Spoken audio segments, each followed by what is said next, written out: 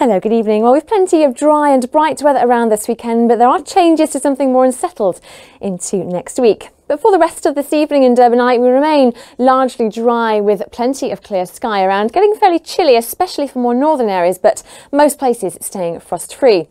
So for Sunday, it's another mainly dry day of weather with some further spells of sunshine, perhaps just a few patches of cloud affecting western areas towards the tail end of the day. But the winds continue light and it's another relatively warm day. 21 degrees Celsius will be the maximum temperature. But thereafter into next week, it turns more unsettled and cooler with a mix of sunny spells and a few showers.